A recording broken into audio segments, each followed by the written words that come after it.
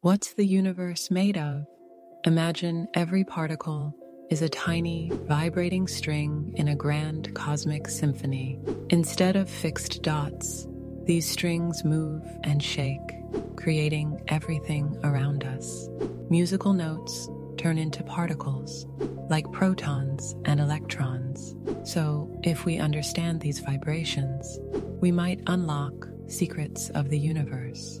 The mystery lies in how these strings create forces like gravity and magnetism. Could string theory be the key to connecting them all? It's like discovering the notes to a hidden celestial melody. As physicists tune into this cosmic music, the universe's secrets could unfold, revealing astonishing truths beyond our imagination, because the song of the universe plays on.